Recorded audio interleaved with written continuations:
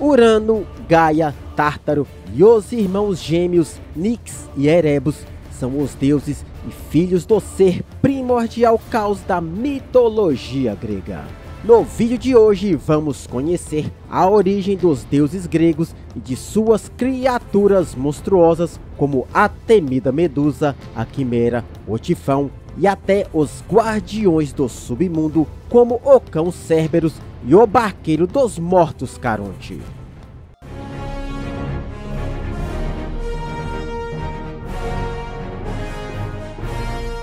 Caos é considerado o primeiro ser primordial que surgiu do início do universo, descrito como um vazio e um abismo sem forma e sem limites. Cansado de sua solidão, resolveu dar a vida aos seres que representavam as forças elementares e entidades mais poderosas já conhecidas. A primeira divindade a surgir do caos foi Gaia, a Mãe Terra. Mas com o tempo, outros seres e irmãos de Gaia foram surgindo como os gêmeos Erebus das Trevas e sua irmã Nix da Noite. Por fim, o Tártaro, a personificação do abismo e submundo que se localiza no interior do útero de Gaia. Guarde essa informação porque futuramente ela será muito importante para o desenrolar dessa história. Sentindo-se sozinha, Gaia gerou por conta própria três novas criaturas: Urano, o céu, Pontus, o mar e Órias, o deus das montanhas. Ela fez isso com o desejo de ter alguém que a cobrisse completamente e criar um lar para as divindades. Por muito tempo, os deuses eram assexuados, gerando filhos sem a necessidade de ter um companheiro. Lembra que no começo do vídeo eu disse que a mitologia grega era uma verdadeira história de Game of Thrones? Desse ponto da história, tudo começa a virar um tchaca-tchaca na buchaca misturado com suruba e incesto entre os deuses. Era filhos de irmão com irmã e até mesmo filho com a mãe. Ah, que nojo. Os irmãos gêmeos se uniram e tiveram diversos filhos, dentre os mais importantes podemos citar Emera, a representação do dia e da luz, o éter, a personificação do céu superior.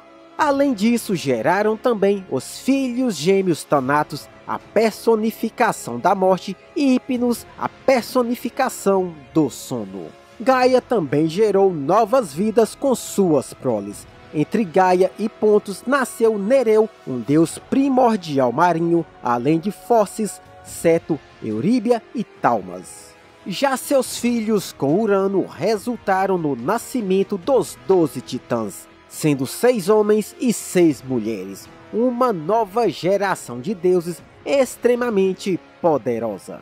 Seus nomes eram Teia, da visão, Reia, da fertilidade, Temis, da justiça, Minemose da memória, Febe da lua, Tétis da água fresca, Oceano dos mares, Céus do conhecimento, Crio das constelações, Hyperion da luz, Japetu da mortalidade e por fim nasceu Cronos do tempo, o mais novo e mais terrível dos seus filhos.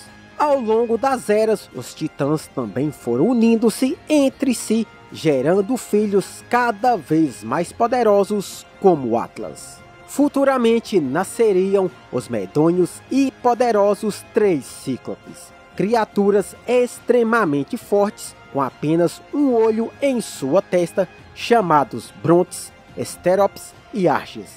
Também nasceram os três Hecatônqueros, Briareu, o Vigoroso, Coto, o Furioso e Giges, o de grandes membros. Que membros grandes seriam esses? Mano, tu é gay. Seres monstruosos e gigantescos com 50 cabeças e 100 braços. Temendo o poder dos Cíclopes, dos Hecatônqueros e dos Titãs, Urano resolveu aprisionar esses seres dentro do Tártaro, que segundo algumas crenças, ficava localizado dentro do ventre de Gaia.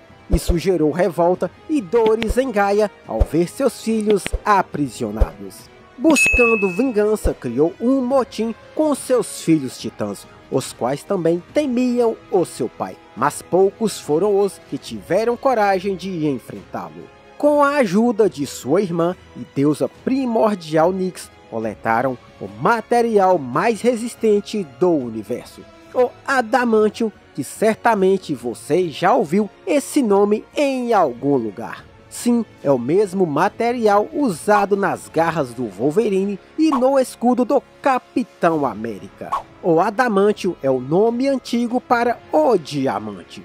Com o material coletado, forjaram uma gigantesca foice feita de diamante e de alguma maneira Gaia conseguiu libertar seu filho mais novo, Cronos, o único que se dispôs a enfrentar seu pai Urano. Portando a arma, Cronos esperou o momento certo para atacar seu pai. Quando Urano, o céu, e Gaia, a terra, foram se unir, o Titã entrou em ação na escuridão, cortando as genitálias de seu pai. O grito de dor foi tão alto que todo o universo pôde escutar. Além disso, o céu tingiu-se de vermelho e os testículos do deus caíram no mar. Devido à sua fertilidade, de seu sangue surgiram novas criaturas e divindades. Do sangue de Urano derramado sobre Gaia, nasceram os gigantes, as Eríneas e as Melíades. As Eríneas são a personificação da vingança, também chamadas de fúrias pelos romanos. Com o passar do tempo, essas criaturas se tornariam subordinadas do futuro deus Hades, torturando as almas condenadas. As Melíades eram um tipo especial de ninfas, Segundo as lendas, elas nunca envelheceram, além de possuírem uma vontade inata por guerrear. Os gigantes eram gigantes. Não me diga! Essas criaturas não eram apenas colossais, mas tinham uma força descomunal, podendo criar terremotos ao caminhar e arrancar montanhas inteiras com suas mãos. E dos testículos do deus emergiu do mar a deusa do amor, Afrodite. Aquela frase vim do saco do meu pai nunca fez tanto sentido. Cronos libertou seus demais irmãos titãs, porém deixou os Hecatônqueros e os Cíclopes aprisionados dentro de Gaia. Na verdade, Cronos não queria ajudar a sua mãe, e sim tomar o poder para si e controlar o mundo. Finalmente, após a sua derrota, Urano perdeu seu controle total e poder sobre a Terra. Mas antes disso, ele apareceu para seu filho Cronos, profetizando que ele teria o mesmo destino de seu pai, tendo o trono usurpado por um de seus filhos. Já vimos a origem dos deuses primordiais. Agora vamos conhecer as temidas criaturas e monstros gregos. Medusa e as Górgonas. As Górgonas eram monstros com um corpo metade mulher e metade serpente. Quem olhasse para seus rostos era transformado imediatamente em grandes estátuas de pedra para a eternidade. As Górgonas tinham a aparência monstruosa, com garras enormes, dentes afiados e uma força bruta extrema. As três irmãs eram Esteno, Euríale e Medusa, filhas dos deuses primordiais Fóssis e Seto. As três irmãs aterrorizavam a região onde hoje se localiza a Sicília na Grécia, mas Medusa era a mais mortal e poderosa dentre as três. Porém, também era a única mortal e que poderia ser morta. Mas em outra versão da história, Medusa era uma mulher mortal tão bela que despertava o desejo dos deuses e ao mesmo tempo a inveja e a fúria das deusas. Medusa era extremamente vaidosa. Apesar de todos os cuidados com a pele, cabelo e das roupas mais ousadas, Medusa nunca deixou de seguir e servir os princípios e castidade da deusa Atena. Mas essa vaidade sempre levava Atena a repreendê-la. Durante uma disputa entre Atena e Poseidon, Atena saiu vitoriosa e isso despertou a fúria do deus e para se vingar, Poseidon decidiu abusar sexualmente de sua mais fiel serva, a Medusa. Ao invés de repreender Poseidon, Atena culpou Medusa por suas vestes. A deusa não se comoveu com a atrocidade, a transformando em um ser monstruoso no lugar de seu belo cabelo surgiram serpentes. E a partir daquele dia, qualquer pessoa que olhasse para ela seria transformada em pedra, a forçando a viver na solidão eternamente. Porém, em ambas as versões, Medusa teve um fim trágico nas mãos do herói e semideus Perseu, onde após uma feroz batalha arrancou a sua cabeça e de seu sangue surgiram duas novas criaturas. Pégaso, o cavalo alado e o gigante Grisaor. Após matar Medusa, o herói entregou sua cabeça a Atena, que a colocou em seu escudo. Caronte, o barqueiro dos mortos. Na mitologia grega, Caronte nasceu dos deuses primordiais mais antigos, Nix, a personificação da noite, e Erebus, a personificação das trevas. Porém, Caronte roubou a Caixa de Pandora. Essa foi a caixa onde os deuses colocaram todas as desgraças do mundo, entre as quais estavam a guerra, a discórdia e as doenças do corpo e da alma. Contudo, nela havia um único dom, a esperança. Zeus, extremamente furioso com esse ato, e o amaldiçoou a transportar eternamente as almas dos mortos pelo submundo. Quando uma pessoa morria, sua alma chegava às margens do rio Estinge. Lá, a alma precisava pagar uma moeda conhecida por Óbulo a Caronte para que ele a levasse até o outro lado. Aquelas que não tinham moedas eram condenadas a vagar pelas margens do rio como almas penadas sem nunca encontrar seu descanso. Por isso, antes de serem enterrados, eram colocadas moedas debaixo da língua e nos olhos dos mortos para pagar por sua travessia. A travessia com Caronte era muitas vezes descrita como sombria e melancólica. Ele era retratado como um homem extremamente idoso, barbudo e sinistro. Essa travessia era feita em sua barca fúnebre através do rio, não permitindo o retorno das almas uma vez que tivessem cruzado o rio, garantindo que os mortos permanecessem no submundo. Porém, em poucas ocasiões, tiveram aqueles corajosos que entraram no reino dos mortos ainda vivos como Orfeu, que convenceu Caronte a deixá-lo passar com sua linda melodia feita em sua harpa para trazer de volta a sua amada Eurídice. E Hércules que forçou a sua passagem através de sua força bruta. Enfurecido com a passagem de Hércules, Hades prendeu Caronte em um poço do submundo por mais de um ano como forma de castigo. A Hidra de Lerna a Hidra é um monstro com um corpo de dragão escamoso e possuindo nove cabeças de serpente, cada uma delas com um hálito venenoso. Essa criatura habitava um pântano junto ao lago de Lerna, na Argólida. A Hidra era uma grande ameaça à região, matando os animais e homens, além de envenenar rios e as lavouras também era um obstáculo para os viajantes que evitavam passar pela região.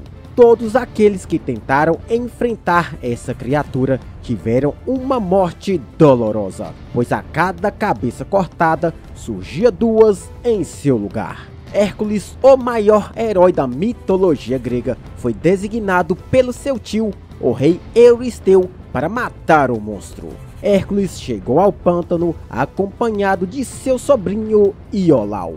Ambos enfrentaram a Hidra com arco e flechas, mas não conseguiram sequer feri-la. O veneno do monstro era tão forte que as flechas se quebravam ao entrar em contato com ele e nem mesmo a força do semideus foi capaz de derrotá-la. Hércules e Iolau lutaram contra a Hidra por horas, cortando suas cabeças, mas sem nenhuma eficácia, pois sempre suas cabeças se regeneravam.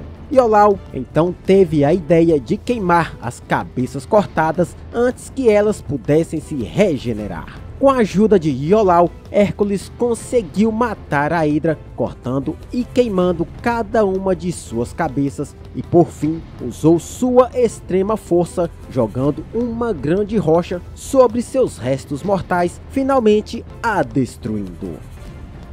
Cerberus, o guardião do submundo.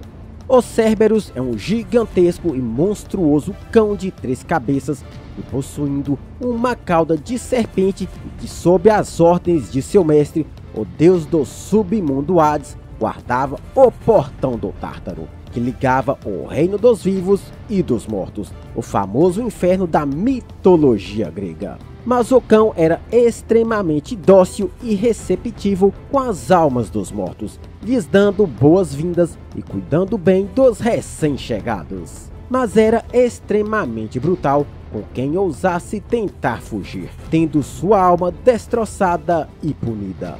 O submundo era dividido em duas partes. Os Campos Elíseos, um verdadeiro paraíso onde as almas boas eram mandadas, e o Tártaro, um lugar onde aqueles que fizeram coisas terríveis em vida eram enviadas, sendo torturados e punidos pela eternidade. Mas houve ocasiões onde os vivos tentaram passar pelos portões e tiveram que encarar essa criatura. Quando a amada de Orfeu, Eurídice, morreu, ele se atirou ao Tártaro para trazê-la de volta à vida. E para conseguir passar pelos portões e escapar, tocou sua harpa fazendo o cão adormecer. Mesmo sendo tão poderoso, Cerberus acabou sendo derrotado durante os 12 trabalhos de Hércules. A Quimera a Quimera é uma das criaturas mais aterrorizantes e mortais da mitologia grega. Um ser híbrido formado por uma cabeça de leão, uma de dragão e outra de cabra, mas também possui asas de dragão e cauda de serpente, possuindo uma força bruta, presas e garras capazes de destroçar tudo que encontrasse em sua frente, além de sua capacidade de cuspir fogo de sua boca. Quando alguém avistava ou sonhava com essa criatura, era um sinal de mau presságio. A Quimera era filha de Equidna e Tifão, que mais pra frente descobriremos quem são. Esse monstro aterrorizava as regiões queimando plantações e devorando rebanhos e diversas pessoas que encontrava mesmo sendo uma criatura tão monstruosa e poderosa, encontrou seu fim nas mãos do herói grego e semideus Belerofonte, filho do poderoso Poseidon. Montado em Pégaso, o cavalo alado, com apenas um golpe de lança, Belerofonte acertou o coração da fera, a matando e finalmente trazendo paz à região. Os Cíclopes os Cíclopes eram seres gigantescos portadores de grande força e ferozes que possuíam apenas um olho em sua testa. Esses seres eram filhos dos deuses primordiais Urano dos céus e Gaia, a mãe terra, chamados Brontes, Estéropes e Arges. Urano, ao ver seus filhos, ficou horrorizado com sua aparência e temendo seus poderes, os aprisionou no útero de Gaia. Porém, durante o evento chamado de Titanomaquia, eles foram libertados pelo seu irmão e Titã Cronos para lutar contra seu tirano pai. Mas ao tomar o trono de seu pai, tornou-se um tirano como ele, novamente os aprisionando. Mas foram novamente libertados agora por Zeus para lutarem contra Cronos, o destronando. Em retribuição, os Cíclopes forjaram as armas mais poderosas de todo o mundo grego, presenteando Zeus com o raio do Olimpo, Poseidon com o tridente que podia controlar os mares e o elmo da invisibilidade ao deus do submundo Hades. O Minotauro o Minotauro é uma criatura com corpo de homem e cabeça de touro. Segundo a lenda, o rei Minos havia jurado a Poseidon que sacrificaria o touro mais belo que ele o enviasse. No entanto, quando o touro chegou, Minos ficou tão impressionado com sua beleza que decidiu mantê-lo para si, sacrificando outro touro em seu lugar. Poseidon, furioso, fez com que o touro destruísse tudo ao seu redor. Além disso, convenceu Afrodite, a deusa do amor, a fazer com que Pasífae, rainha e esposa do rei Minos, se apaixonasse pelo touro. Pasífae então pediu ajuda ao arquiteto Dédalo para construir uma vaca de madeira para que ela pudesse copular com o touro. É isso mesmo que você ouviu. A rainha e o touro fizeram o tchaca-tchaca na buchaca. Ah, que nojo. O plano deu certo com Pasífae engravidando do touro. E dessa relação nasceu o monstruoso Minotauro.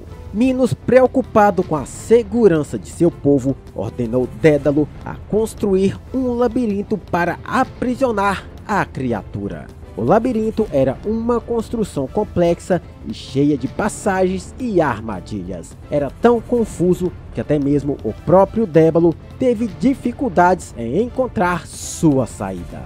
O Minotauro foi aprisionado no labirinto e a cada ano sete jovens atenienses eram enviados a Creta para serem sacrificados ao monstro. Um dia Teseu, filho do rei Egeu de Atenas, se ofereceu para ser um dos jovens sacrificados. Teseu era um jovem forte e corajoso e estava determinado a matar o Minotauro. Com a ajuda de Ariadne, filha de Minos, Teseu conseguiu entrar no labirinto e encontrar o Minotauro. Teseu lutou contra o monstro e após uma batalha feroz conseguiu matá-lo. Então guiou os outros jovens atenienses para fora do labirinto e retornou a Atenas, onde foi recebido como um grande herói.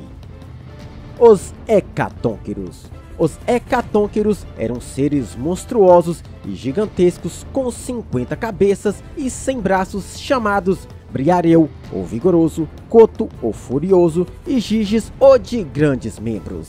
O seu andar causava grandes terremotos e com seus braços conseguiam arrancar montanhas inteiras, as lançando contra seus inimigos.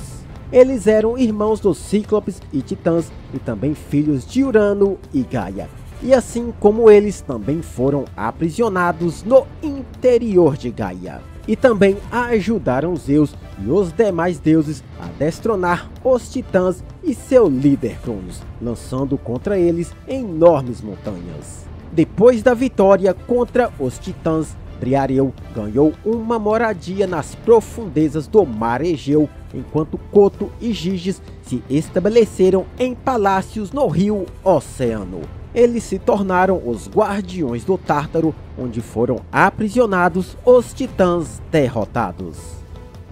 Tifão, o terror dos deuses. Tifão é o mais temido e poderoso monstro de toda a mitologia grega, sendo filho dos deuses primordiais Gaia e do deus do Tártaro, o abismo do submundo foi gerado com o intuito de destruir os deuses como forma de vingança contra os olimpianos por ter aprisionado os filhos de Gaia. Sua aparência era aterrorizante, possuindo 100 cabeças de serpente saindo de seu pescoço, olhos flamejantes e asas enormes de um dragão, e seu rugido era tão poderoso que causava terremotos. De acordo com a mitologia grega, os deuses do Olimpo se uniram para enfrentá-lo em uma batalha épica. Zeus, o rei dos deuses, liderou a luta e depois de uma intensa batalha, onde inicialmente foi brutalmente derrotado, mas posteriormente recuperou suas forças e com a ajuda dos demais deuses conseguiu derrotar o monstro, lançando raios e trovões contra ele. Tifão então foi aprisionado em um vulcão, onde hoje é o Monte Etna na Itália, onde permanece sob controle, mas sua influência negativa é sentida até hoje em momentos de caos e destruição da natureza. Equidna, a mãe de todos os monstros.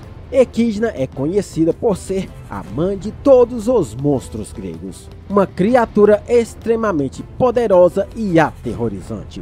possuindo o corpo metade mulher e a outra metade de uma enorme serpente vivendo nas profundezas da terra, numa caverna localizada na Sicília, na Itália, distante dos deuses e dos homens. As tradições divergem bastante quanto à sua origem. Segundo Exildo, ela era filha dos deuses Fóssis e Seto e, portanto, neta de Ponto e Gaia. E em outra versão, seria filha e descendente dos deuses do Tártaro e Gaia. Equidna assustava todos com sua força e devorava todos aqueles que se aproximavam de seu esconderijo. No período em que Zeus estava fraco, após Tifão ter o derrotado, Equidna acabou se unindo a Tifão, tendo filhos monstruosos como o Leão de Lemeia, a Hidra de Lerna, o Dragão de Cólquida, o Cão Cerberus, dentre outras monstruosidades, que na maioria das vezes teve seu fim encontrado nas mãos dos heróis e semideuses gregos. Equidna foi morta enquanto dormia por Argos, uma criatura de 100 olhos que era servo fiel da deusa Hera e esposa de Zeus. As Moiras, as senhoras do destino. As Moiras eram filhas da deusa primordial Nix e do titã Cronos. Eram poderosas e misteriosas que controlavam o destino de todos os seres vivos, decidindo como nasceriam, como viveriam e como morreriam. Até mesmo os deuses as temiam, pois uma vez traçado a história e o destino, nada e ninguém poderiam mudar isso, nem mesmo os deuses. As irmãs são Cloto, a irmã mais jovem, que tecia o fio da vida de cada indivíduo, determinando seu exato momento de nascimento. Laquesis, por sua vez, esticava e enrolava o fio que determinava a influência, as decisões, felicidade e tragédias de cada homem e mulher. E por último, temos Atropos, a irmã mais velha e a mais temida dentre elas, que cortava o fio da vida com uma tesoura, determinando o momento e como cada mortal iria morrer. Após o fio ser cortado, as moiras ordenavam Thanatos, o deus da morte, a ceifar a vida do indivíduo, fechando o seu ciclo de vida. Todas as ações, tragédias e histórias dos heróis gregos foram traçadas por elas desde seu nascimento, aventuras e até a sua morte. Galera, esse foi o nosso especial sobre a mitologia grega. Deixe nos comentários qual a próxima mitologia você gostaria de ver por aqui. Aproveite e deixe seu like e compartilhe esse vídeo em suas redes sociais. Esse foi o vídeo de hoje e como de costume, até a próxima.